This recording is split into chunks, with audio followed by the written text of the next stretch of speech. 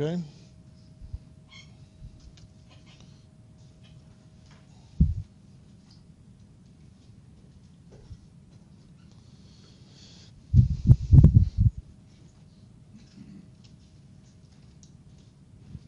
So now we're going to try to make a little bit more sense about everything we've been doing with respect to the stress tensor and principal directions and other things. Start to put it into some context of what we can do with it if we understand these things correctly. And one of the things we can do is we can resolve the stress on a fault in, in, at depth in the earth. And the reason that's important is because the ratio of the normal stress to the shear stress on a fault and its coefficient of friction is, is what determines whether the fault's going to slip or not. Right? And so, just to introduce some terminology,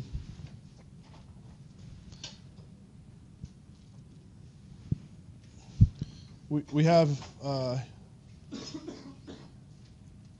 we'll typically use a, a coordinate system that's now oriented with respect to the directions that were, the, you know, the, the, cardinal directions, north, east, west, south, right? And, and the typical uh, right, it's a right-handed coordinate system, uh, and you'll see it on the next slide, but the, it's a right-handed coordinate system such that you take uh, north, east, down. Okay, so everybody remember what I mean by right-handed, right? So you, you take your right hand and you put it in the direction of, say, the north. So you, would point your fingers north and you curl it to the east. You curl your hand to the east, and the direction your thumb is pointing gives you the other positive. That, that, that's what gives you positive directions, right? So if, if it's right-handed, you go from north to east, and your thumb is pointing down. That means down is positive, right? Everybody remember that from statics? And so when we talk about the strike direction of a fault, so this is a representative of fault plane. When we talk about the, stri the strike direction, uh, in this in this case, as it's drawn here, it's perfectly oriented north. Okay, so in the next slide, you'll see an angle that well that defines it, or later you'll see it an angle that defines it with respect to north. Okay, and then and then the dip is the angle. Well, I don't know that I need to just redraw these angles, but the dip is then this angle, and the rake is the angle with respect to the vector of slip. So let, let me see if I can draw this. So if we have a fault,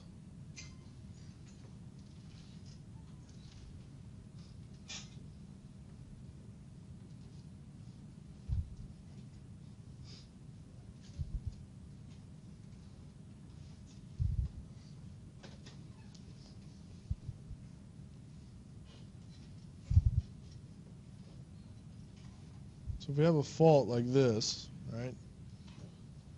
So this is the hanging wall. So we're just talking about a normal fault, where this is the hanging wall, this is the foot wall. Uh, the direction of slip, well, in this case, you know, it doesn't have to be straight down. It could be slipping, say, for instance, in a direction that's like this, where, where this arrow is, is in the plane of this fault. Right? So then the rake would be the angle between the slip direction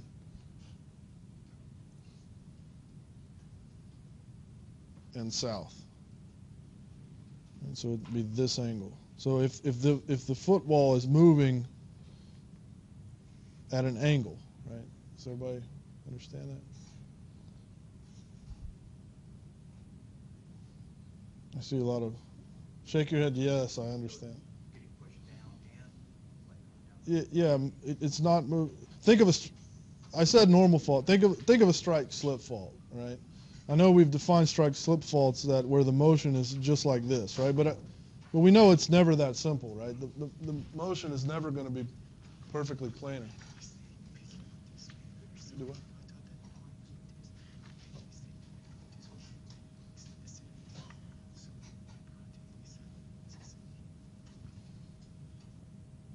I don't even know that is. Okay. Fine. Okay. All right. So the uh, let's think about a strike slip fault, right? So the way we typically talked about them is that the motion of the fault is just perfectly shear. Okay. But in, in reality, that that's not. It doesn't always move perfectly perfectly right to left or whatever, right? There's always some up down motion, right? So that up down motion, the angle of the slip, right? So that the up down motion defines, you know, if, if I drew a vector that traced my the motion of this hand on this hand, right? That would be the slip direction. And the angle between that vector and our geographical coordinate system, in this case south, would be this rake. All right. I'll, try to come up with a better visualization, for, maybe for next time.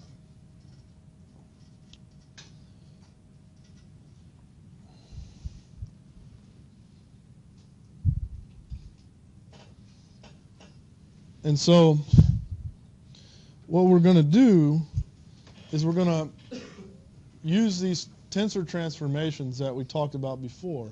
We talked about them before in the context of eigenvectors, but we're going to use these way, the way that tensors transform to take our principal directions and put them into the into a geographical coordinate system.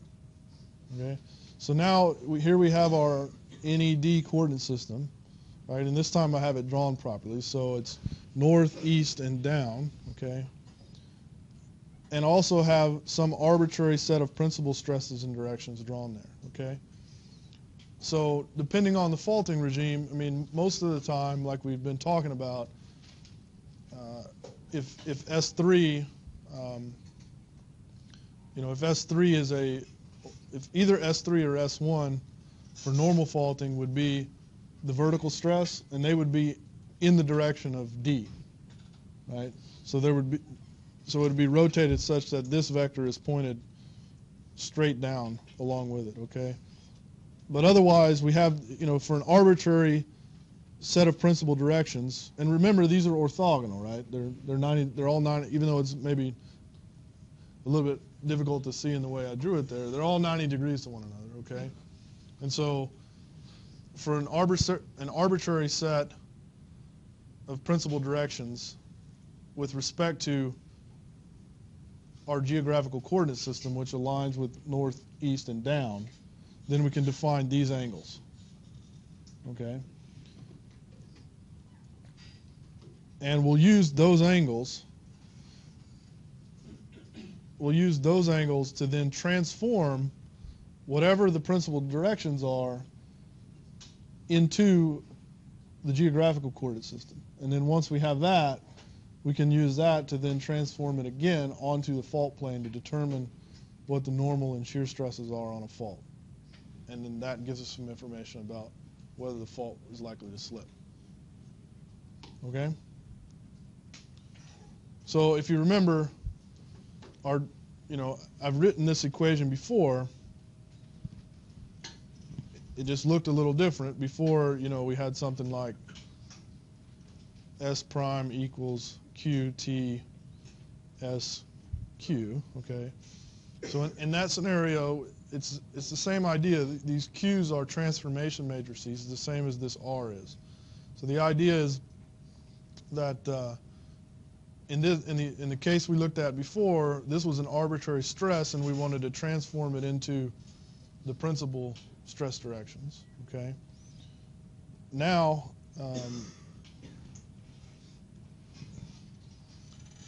now we have a stress S that's already our principal stresses, so that's S1, S2, S3, and we want to transform it into SG, which is this geographical, this, the stress associated with the geographical coordinate system. Okay? And so we'll, we'll use these rotation matrices or transformation matrices to do that. And so with with these angles with these angles defined as they are, then we have this is our transformation matrix. So what that will do is transform any arbitrary principal directions into our geographical coordinate system. Right, so I know it's kind of messy, but all you have to do is know what those angles are and plug them in. And then you have a matrix. Right? And then you can use that matrix. You can use your multi- matrix, matrix multiplication that we learned to do the transformation. Okay?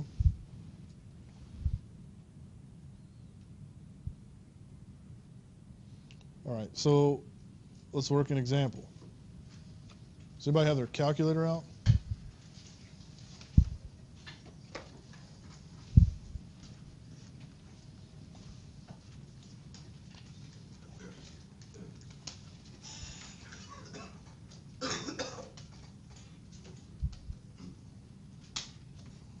All right, so just real quickly, let's do this one time. Somebody has their calculator out. Remember that alpha is 0, beta is 0, and gamma is 90. Okay?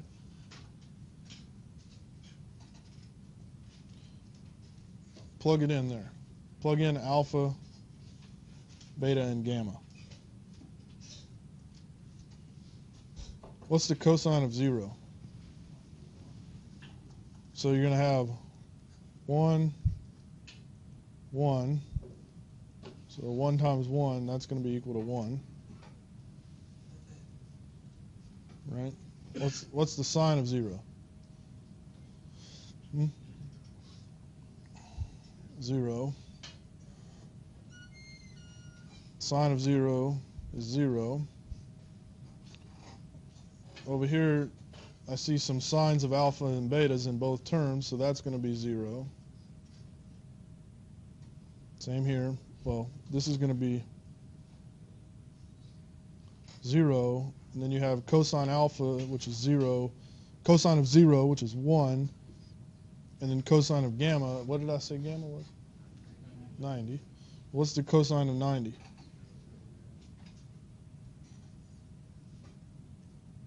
Are you sure?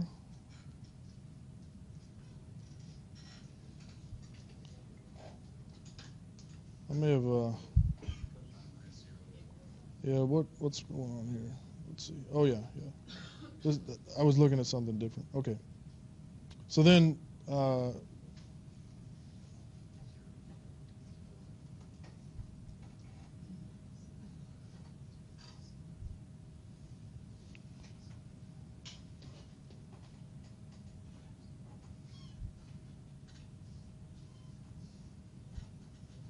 wonder if I made a typo. Do what?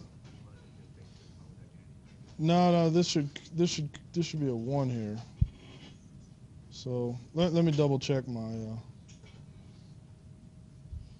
Uh, I'll have to double check this equation. Obviously, you're going to have to use this on the exam, so it needs to be right.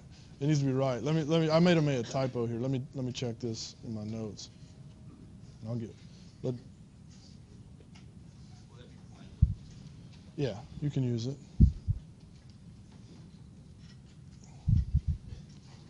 All right. So anyway, what I was after was an RG that reduces to 1, 0, 0, 0, 1, I'm sorry, 0, 1, 0, minus 1, 0. All right. And so then, what's RG transpose. When you take a transpose, what do you do? You just you take the rows and the columns and you flip them, right? So the first column is going to be the first row, so that's 1, 0, 0. The second column is going to be the second row, so 0, 0, minus 1. And the third column is going to be the third row, 0, 1, 0. All right. So I usually do this in, in two steps. So, I mean, ultimately what we want is SG is equal to R transpose SR, right? So let's do this part first, the SR. So SR is 30, 0, 0, 0, 25, 0, 0, 0, 20, 1, 0, 0, 0, 0,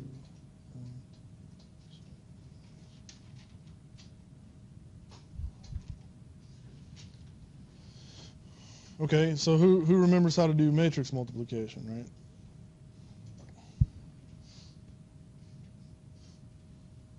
What is, what is this first term up here? It's the in words. Like how would you do it? Yeah, how about we take the dot product, right? Take the dot product of the first column here. First call, I'll call this B, this A. Well, no, no let's let's call it S and R,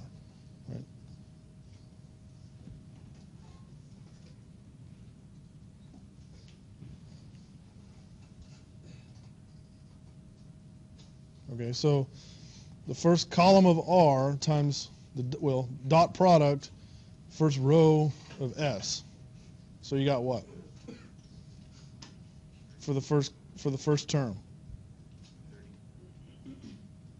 Okay, and then second column of R dot product first row of S. Zero. Third column of R dot product first row of S. All right, now the second. So first column, second row. First column dot product, second row. Second column, second row. Third column, second row. First column, third row. Second column, third row. Third, third column, third row. All right, so that's SR, and then I want to multiply this, so now this is SR. I want to multiply that by RT. Right, so then I have 1, 0, 0, 0, 0, minus 1,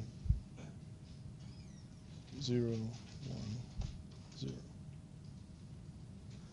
Times.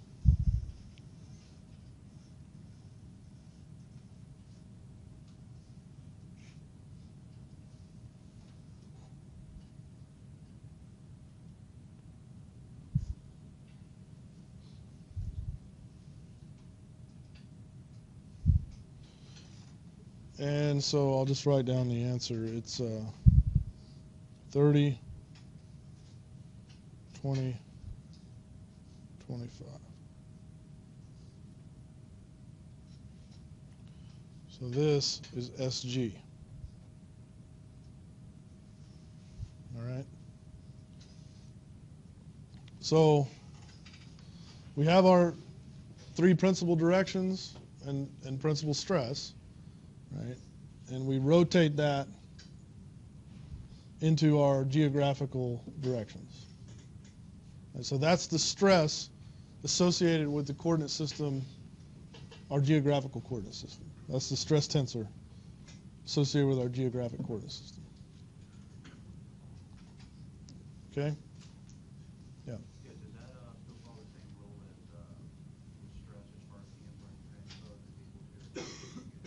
Yeah, Yeah, this is a transformation matrix, so it, the inverse is the transpose.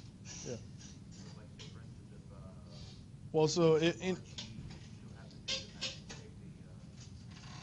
the, transpose is, is its inverse, so you don't have to do. Yeah, yeah.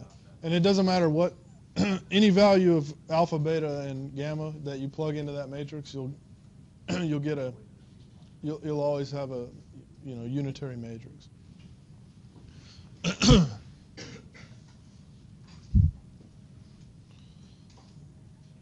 so, um,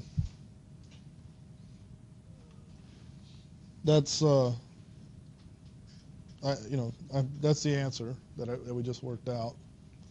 Um, I have other examples from other faulting regimes. So um, I don't know my somehow my little um, fragment fly-in's not working properly. I have to fix that. But um, so I, I actually encourage you. I mean, you're going to have to do this on the test. So I encourage you to get some practice. I'll also probably give you a homework assignment associated with this today. So uh, anyway, the point is, I've given you a couple examples here from different faulting regimes and the answers. So you can you can go and you can work through these examples. I'm not going to just work through all of these in class, but because it's mo- just more of the same, just more of the same. I give you S, I give you RG, you compute SG from RG transpose times S times R. Right? And I give you the, the angles. Okay? So